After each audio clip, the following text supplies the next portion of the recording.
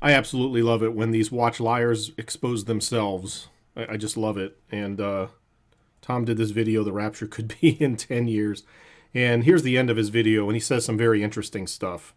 Um, he basically says everything that I've always said. That's why. That's why I'm, I'm urging anyone who gets discouraged by this stuff, by end time stuff, walk away from it and, and work on getting closer with Jesus. And I'm not saying that I'm closer to Jesus than you are, and that's why I can handle this. We're all wired different. Not everybody's. Hang on a second, Tommy. You and the rest of your cohorts, maybe you haven't said this explicitly, but JD Farag sure has, and he's kind of like the godfather of your movement. JD Farag says you have to pay attention to end times things because that is what draws us closer to the Lord. Paying attention to end times things, i.e., reading the news and speculating about how close the rapture is, that supposedly makes us purified. And we, we're less likely to hold on to the world. Remember? Do you know how many of your fans yell at me and say you love the world too much because you don't like the rapture, and or you're scared of the rapture, or you don't want us to to uh, talk about the rapture because you know you, you love your life so much and you want us to? Satan. Haven't we heard this over and over again? Yet here's a guy. Maybe he hasn't gone to the club meetings yet. He's a newbie. Like here he is saying, "Hey, this this isn't for everybody. This isn't for everybody. If you can't handle." end times stuff, then walk away because it's it could take you away from the Lord. Wired to study end time stuff. Not everybody can handle it. We're all on different levels. But if it if this frustrates you, and if we're here on January first, twenty twenty three, and you're going to be super discouraged about it, like I said earlier in the video, please go find something else to watch. Please. That doesn't make any sense, Tom. I'm, so can you imagine a minister, a, a real minister, saying this about any other subject? You know, if you can't handle uh, the things I'm telling you out of the Word of God today, if you can't handle them, they frustrate you, scare you, whatever, then just walk away. Don't listen to me anymore.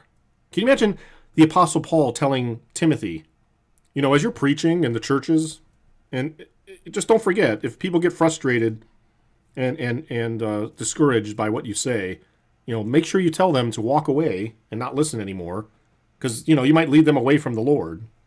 Can you imagine that? Of course not. That's that's ridiculous. You know why? Because what Tom does is not minister work. It's entertainment. He's telling you straight up here that what I do is really just for fun. And if you can't handle the fun, if you can't handle the ride, get off the ride. I don't want this ride to take Rather you away from the Lord. Have a good walk with the Lord, which is my number one agenda, is pushing people to Jesus Christ and no, knowing it's of not. his finished work and his atoning blood. That's my main agenda. That's number one. No, it's not, Tom. Your number one thing is to attract their attention through your your rapture soon, rapture any second grabber headlines that are clickbait to get more people to watch you because you know there's a big audience out there of people who like to think about this stuff all the time. So I I know what you're about, man. I've been around. I know what you're about. And I also know, because your wife told everybody, that you make all the money in the family now. She doesn't do anything else for money. She's a homemaker. You make the money. She said that because of your quote unquote God channel or your channel about God. So, so no, Tom, stop it. We all know what you're about. You're about getting people into your channel through rapture hype and fear porn and then easing their easing their fears by claiming that you know the rapture soon because this is all stuff from Jesus he told us. So you're using God's name. And then it doesn't happen and you know it's not going to happen. It probably won't happen.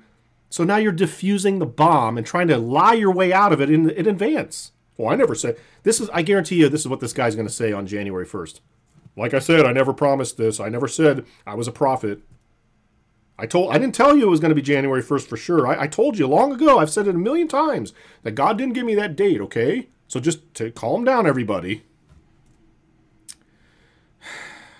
Tom, you're a liar. You're a liar, okay?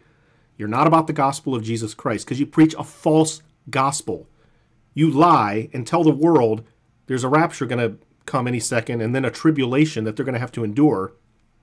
And they need to get out of that tribulation by believing in Jesus.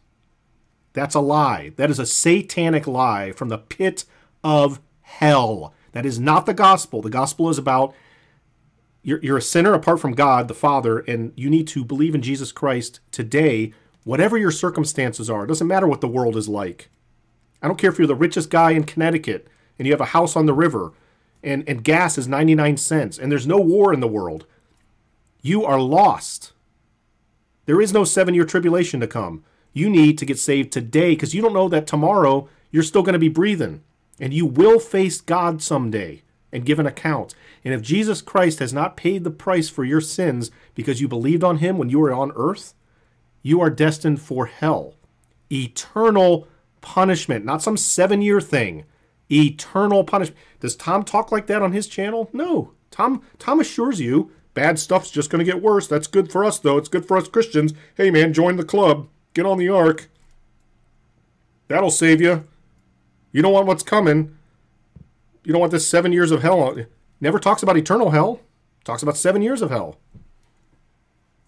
And then it's end time signs and telling people we're on the cusp of the rapture. But number one is Jesus, and it should be number one in all of us. You know, if the rapture is more important, if getting out of here is more important to you than your daily walk with Jesus, reevaluate. Yeah, see, and then finally he just proves what I've said all along. This is escapism. This is escaping today's trouble. The trouble that Tom is having right now, bankrupt, his wife's businesses have failed. He's forced to to to build fake ministry channels so he can get some donations and keep paying the bills.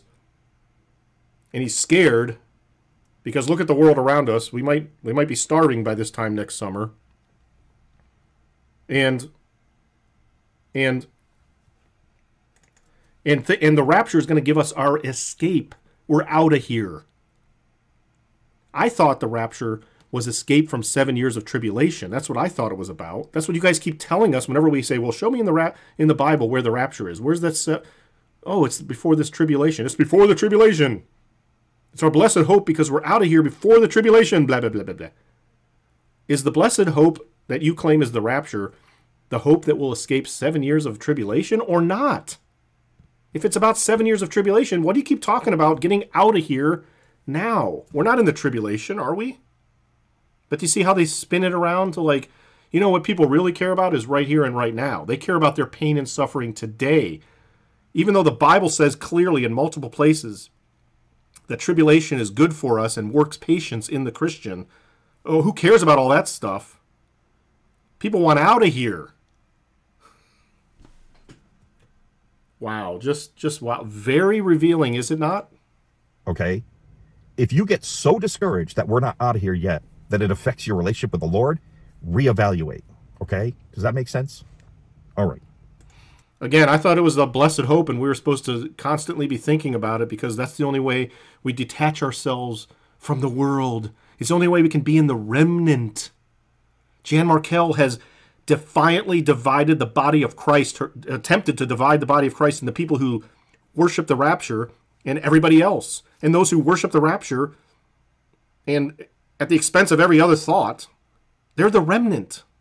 And the rest of us people that say we're Christians, yeah, we're probably really not Christians. We're not very good Christians because we don't we don't obsess about the rapture every day. Here's one of their own.